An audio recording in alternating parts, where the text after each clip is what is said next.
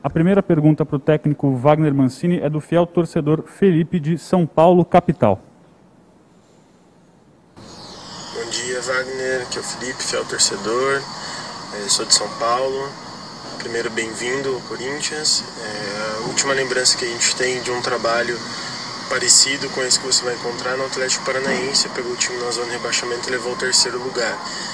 E ao vice-campeonato da Copa do Brasil. Isso é o que a torcida pode esperar também do seu trabalho aqui no clube? Valeu. É, boa tarde a todos. Em primeiro lugar, é uma satisfação muito grande estar sentado aqui e estar vestindo essa camisa, é, com todo esse peso e com toda essa história. É, sobre a pergunta do Felipe, é, realmente eu vejo muita semelhança naquele ano 2013 para o ano 2020, a minha chegada ao Corinthians. O Atlético, naquela oportunidade, vivia uma situação semelhante. A gente teve é, uma, uma arrancada muito boa no campeonato, acabou chegando a Libertadores, a final da Copa do Brasil. E o pensamento é exatamente esse. Eu acho que quando você é, encontra pessoas é, que são extremamente capazes e estão dispostas a fazer junto com você aquilo que tem que ser feito, acho que a coisa tem tudo para andar. Eu tenho as minhas convicções, acredito muito nelas né, e com certeza elas serão usadas dentro de todo esse processo. Agora abrindo as perguntas da imprensa, Flávio Ortega da ESPN Brasil é o primeiro. Obrigado, Russell. É, boa tarde a todos, presidente, Mancini. Boa sorte, Mancini, nesse desafio. A torcida tem, tem é, criticado bastante aí o rendimento do time nos últimos jogos, né? E principalmente é, o fato de o time ter, nesse momento, a dificuldade de voltar a ter uma identidade de jogo, um padrão tático, né? É, foi muito vitorioso com aquele esquema defensivo ou que priorizava né, uma marcação forte.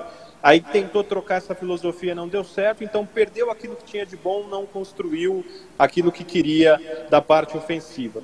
O é, que, que você vai atacar primeiro, Mancini? Assim, o que, que você acha que é, que é a emergência, que é urgente nesse momento para o time parar de perder e voltar a pontuar? Assim? Qual que é a tua primeira ação como técnico para tentar estancar aí é, esse ferimento? Obrigado.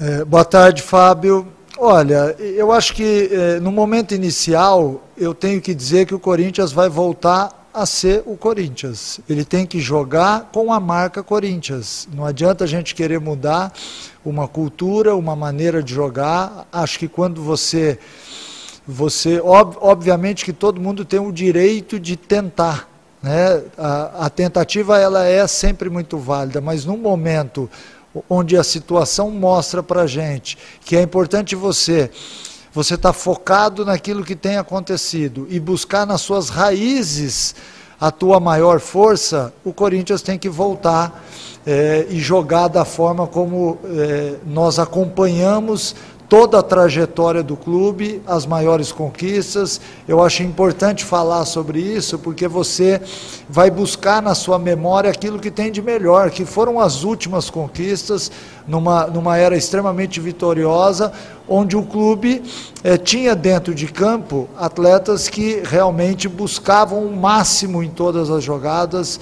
Eh, Todo mundo sabia a dificuldade de se enfrentar o Corinthians, não só dentro do seu estádio, que algumas vezes foi o Pacaembu, até a construção da arena, é, é, e mesmo jogando fora de casa tinha uma marca Corinthians. Então eu acho que nós temos que resgatar isso, porque isso vai dar, além de confiança, de convicção naquilo que está sendo feito, bons resultados. Eu acredito muito nisso e acho que está aí é, o passo inicial. Depois, com o passar do tempo, óbvio que os ajustes serão feitos, mas para um princípio, eu acho que nós temos que buscar na nossa raiz, na raiz do clube, da dificuldade, do suar sangue dentro de campo, para que as coisas possam mudar.